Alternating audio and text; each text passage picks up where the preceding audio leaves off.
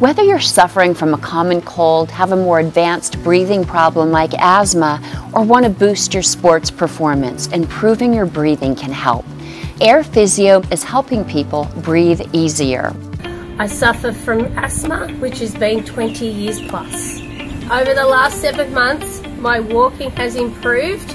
I can walk an hour to work and an hour home without using my Ventolin as much since I've been using the AirPhysio. Jet got croup, that in turn made his asthma worse. We were on tablets, Seretide and Asmols, preventatives. He gave me the AirPhysio to try.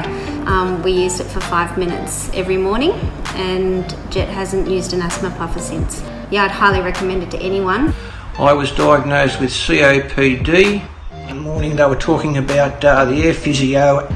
Uh, it's made my life a lot, lot easier.